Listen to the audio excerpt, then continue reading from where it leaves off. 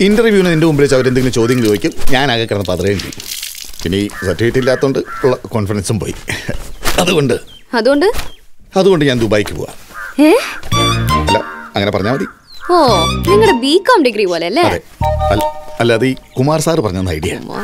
താൻ വിചാരിച്ചത് പുഷ്പം പോലെ നടക്കും. കുറച്ച് നാളായല്ലോ നിങ്ങൾ പുഷ്പം പുഷ്പ എന്നൊക്കെ പറയാൻ തുടങ്ങിയിട്ട്. അത് വിട്ടു വിട്ടു.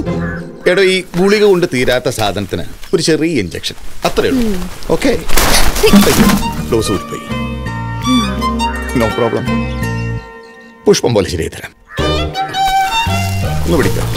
നടുക്ക്.